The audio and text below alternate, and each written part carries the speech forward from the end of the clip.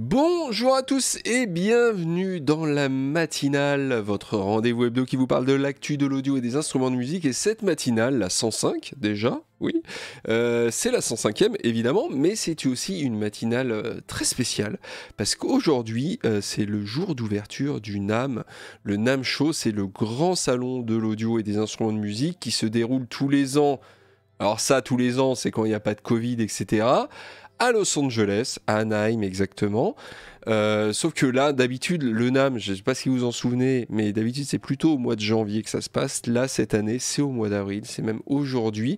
Alors ce qu'il faut savoir, c'est que je tourne cette matinale euh, en live là sur Twitch comme d'habitude le jeudi à midi et demi. Donc là, on est donc jeudi 13 à midi et demi. Mais en fait, le NAM, L'ouverture se fait le 13 aussi, mais sauf que c'est heure de Los Angeles. Donc le matin, Los Angeles, ben, en fait, ça sera à 19h chez nous.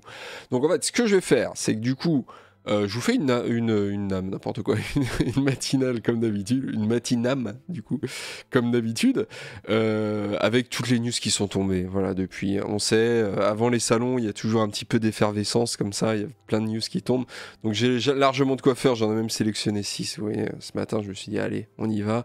J'ai 6 news aujourd'hui et je vais revenir sûrement peut-être dans la journée, peut-être demain matin. Je ne sais pas. Donc sur YouTube, si vous regardez cette vidéo, c'est normal qu'elle soit pas publiée le vendredi matin. Là, j'ai même pas attendu. Là, je balance tout. Euh, j'attends même pas le vendredi matin.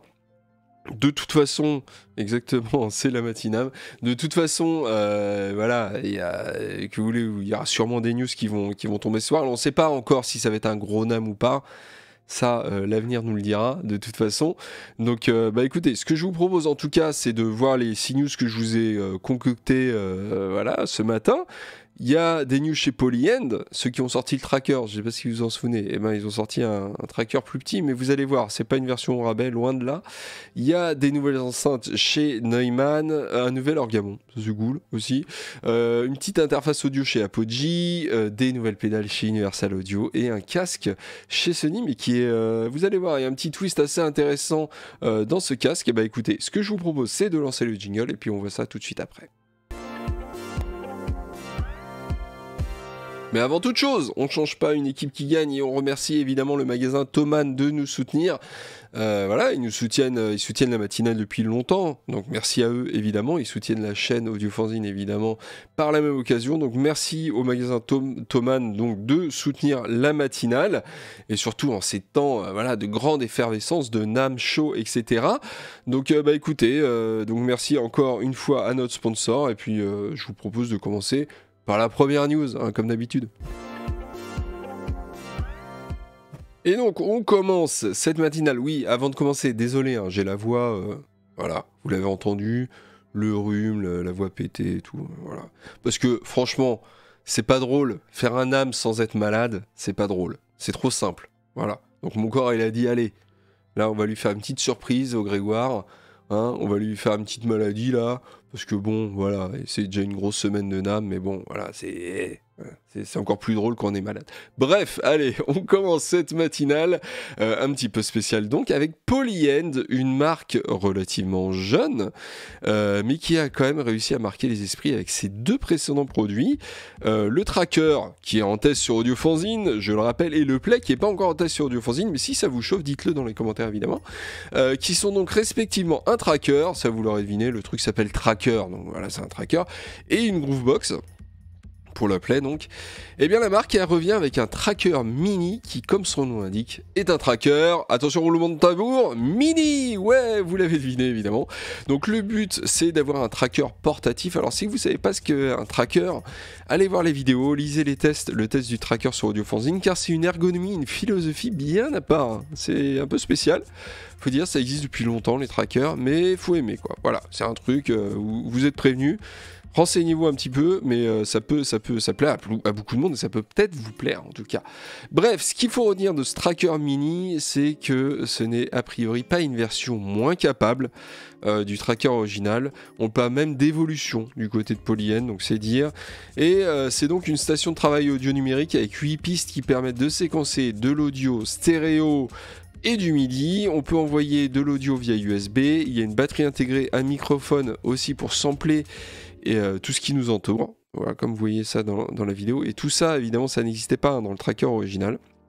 C'est pour ça qu'on parle de vraie évolution.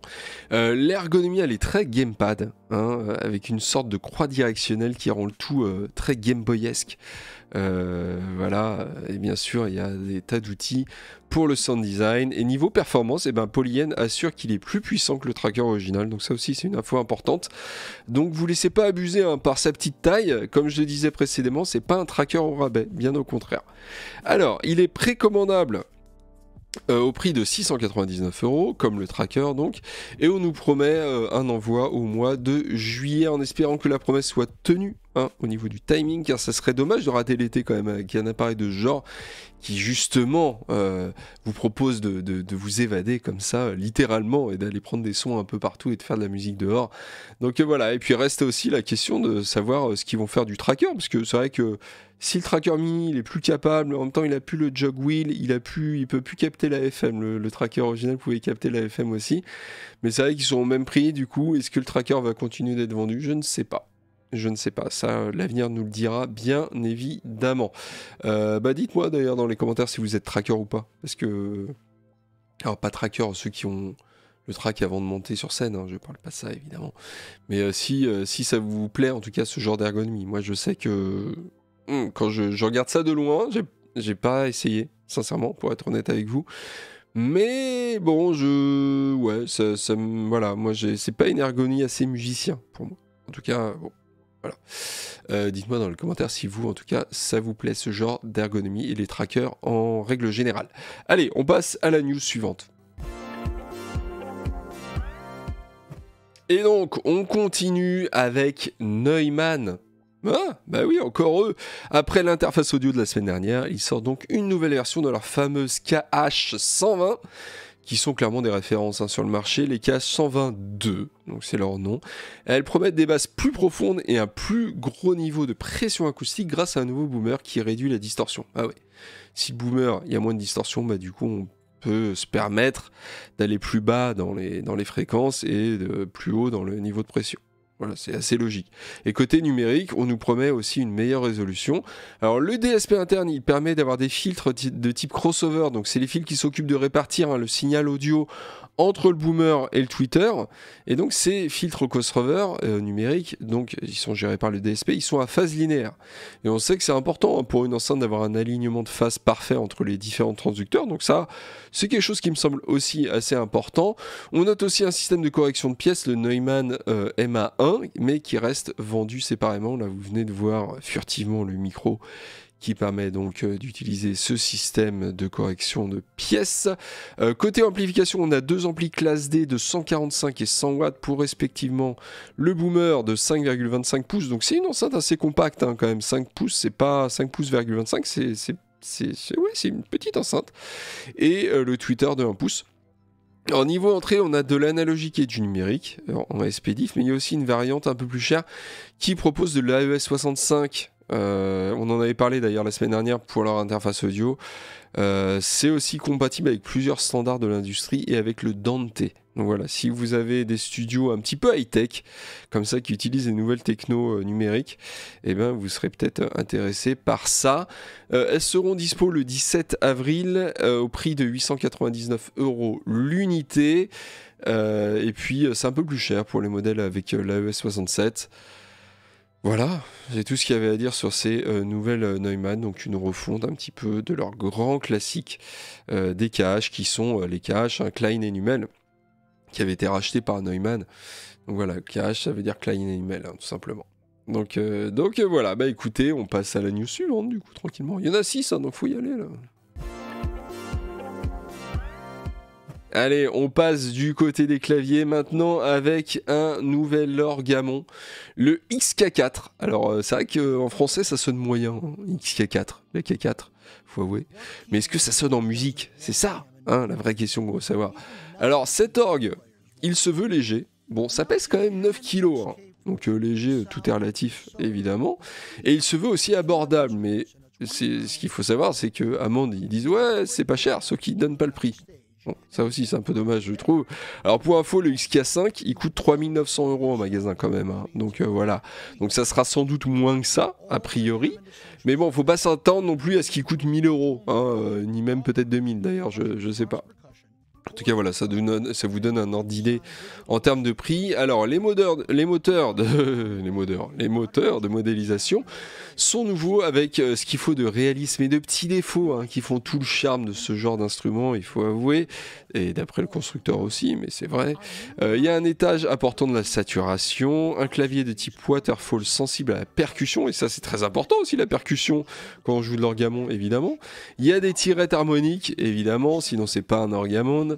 Euh, il y a un chorus vibrato, alors il faut savoir qu'un vibrato n'est jamais qu'un chorus avec euh, zéro dry, hein, euh, voilà, c'est la même chose, un chorus un vibrato, hein, techniquement.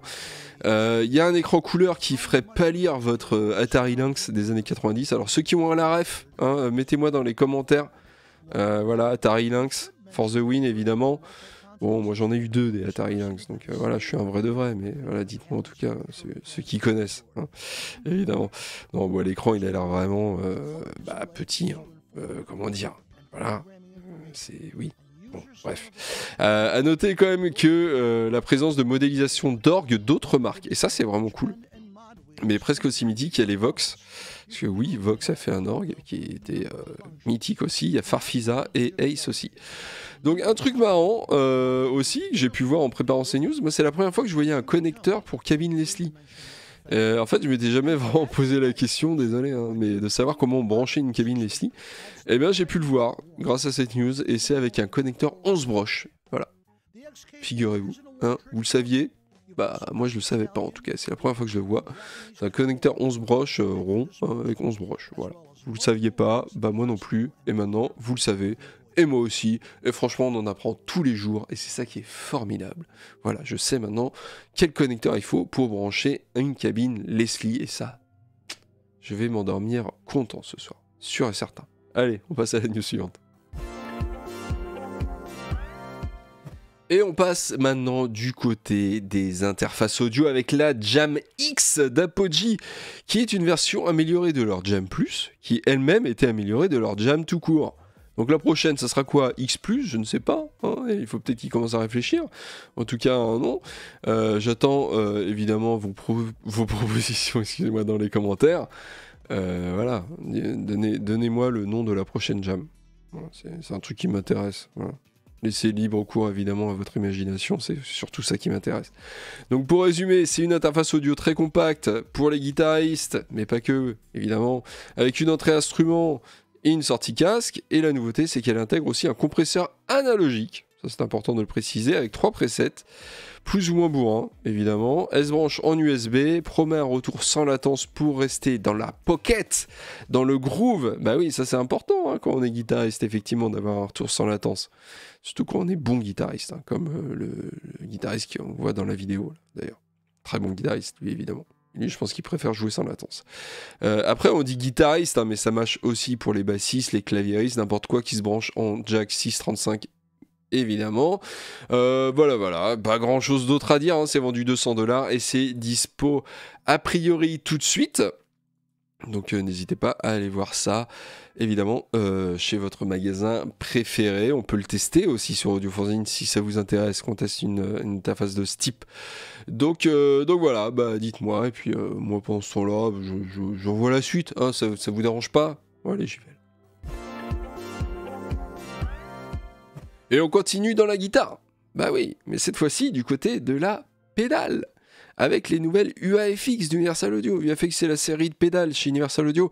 Alors autant ils étaient restés assez classiques hein, sur leur première fournée avec des amplis, et puis un trio reverb, délai, modulation qui était très bien, hein, mais euh, voilà, somme toute classique. Alors autant là, bah, ils sortent un peu plus des sentiers battus, euh, toute proportion gardée, hein, bien entendu, mais euh, avec notamment la Max, qui est un préampli slash double compresseur qui, comme vous vous en doutez, on est chez Universal Audio, on produit le son d'un préampli à lampe de légende qui connaissent bien, hein, vu que c'est leur, c'est le 610 hein, d'Universal Audio, et trois compresseurs, eux aussi de légende, les LA2A, euh, en 76, qui est aussi le leur, hein, il faut le, signaler, et le Dynacombe, donc qui est une petite pédale hein, de guitare euh, de MXR, si je me trompe pas. Alors l'originalité ici, c'est qu'on a une émulation de préampli euh, en plus des compresseurs mais on peut aussi stacker les compresseurs, c'est-à-dire en mettre plusieurs à la chaîne. Et ça, c'est plutôt original dans une pédale et c'est très utile pourtant. C'est un truc qu'on fait tout le temps en studio.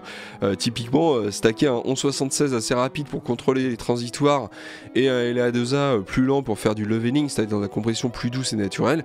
Et eh ben, c'est une très bonne idée, généralement, de faire ça. Donc reste à savoir si ça sonne, mais bon, c'est UA.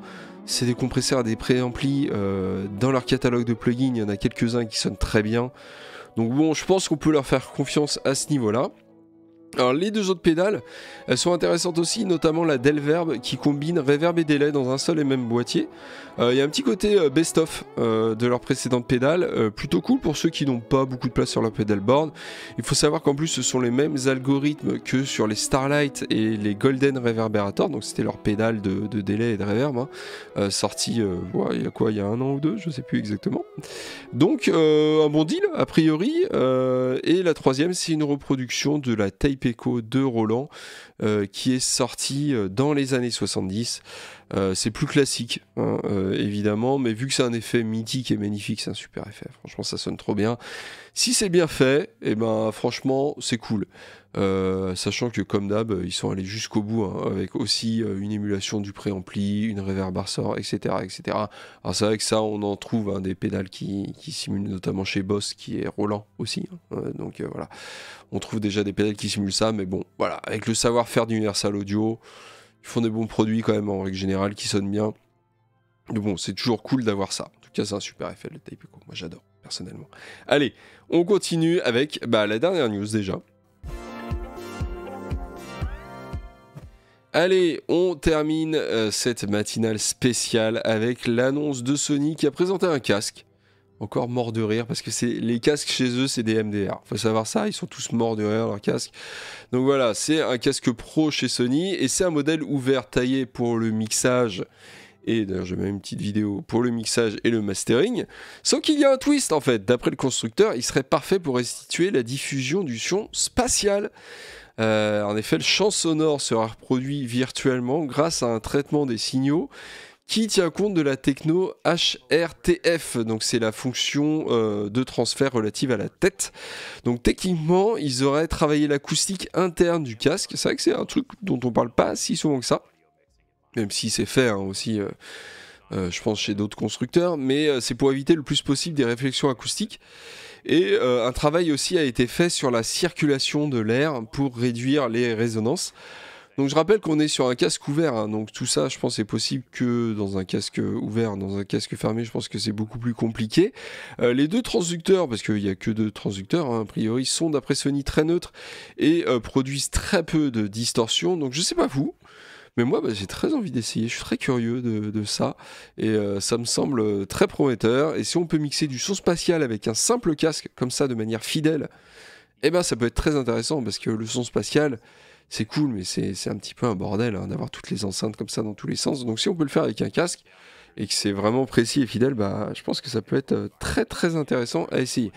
Euh, on va d'ailleurs faire un test hein, sur Audiofanzine, euh, on est en contact avec Sony. Donc ils vont pouvoir nous envoyer tout ça et on va pouvoir le tester évidemment. Donc restez évidemment sur Audiofanzine, restez à l'écoute ça devrait, euh, voilà, le temps de tester. Après, c'est vrai que c'est un casque qui est un peu différent hein, des autres, donc je pense qu'il va falloir qu'on le teste aussi sur des sources multicanales, des sources spatiales, pour voir vraiment ce que ça donne. Mais donc euh, voilà, le tarif, il n'a pas encore été communiqué, malheureusement, et euh, la sortie bah, devrait être par contre assez proche. Hein. Ils ont parlé du mois d'avril, donc on est déjà au mois d'avril, donc ça devrait pas trop tarder. Donc voilà, c'est fini pour cette matinale du jeudi. Normalement, c'est vrai que la matinale, alors je, rappelle hein, les faits, euh, c'est jour de NAM aujourd'hui. Voilà, ce soir, là, je suis en train d'enregistrer, là, il est euh, euh, de midi 58 très exactement. Je suis en train d'enregistrer cette matinale que je vais publier incessamment sous peu, je pense, sur YouTube. Je vais pas attendre le vendredi matin et pour cause, c'est que je vais sûrement revenir d'ici là, en fait. Parce que le NAM va ouvrir ses portes 19h heure française aujourd'hui. Donc voilà, je vais sûrement, euh, d'ailleurs, n'hésitez pas à venir faire un, tour sur Twitch et sur Facebook parce que je vais sûrement faire le live avec vous, l'ouverture du live avec vous. Et enregistrer peut-être une matinale dans la foulée euh, ce soir s'il y a des annonces qui sont cool. On ne sait pas ce que ça va donner. Le NAM cette année, c'est une grosse interrogation. C'est la première fois qu'il y a un NAM au mois d'avril. Et puis il y a eu le Covid, il y a eu plein de choses comme ça qui font que, bah, euh, est-ce que les constructeurs vont être au rendez-vous? Ça, c'est une question qu'on se pose, légitime. Est-ce que les gens vont toujours se déplacer pour aller au NAM? Je sais que nous, euh, du Fanzine, on a fait le choix de ne pas le faire pour des raisons économiques mais écologiques aussi. Donc voilà, il y a plein d'interrogations. Mais en tout cas, j'ai hâte de voir ce que ça va donner, ce NAM. Et puis, bah, je vous donne rendez-vous. Euh, restez vraiment, abonnez-vous hein, à la chaîne si c'est pas fait.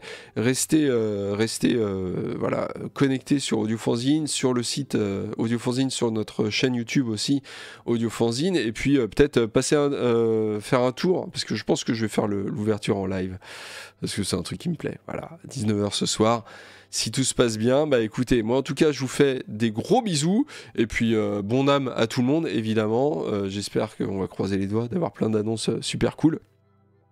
Et puis à très bientôt. Allez, ciao